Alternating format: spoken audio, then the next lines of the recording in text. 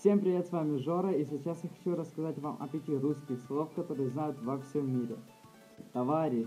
По одной из версий, это слово произошло от древнерусского слова «товар», что означало «военный лагерь». Но иностранцы знают это слово, потому что в СССР так называли всех граждан.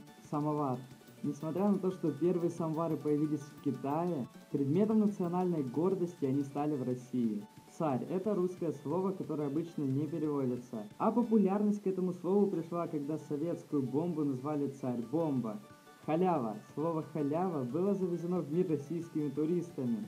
Халявой раньше назвали голенище сапога, куда удобно было положить приглянувшуюся вещь.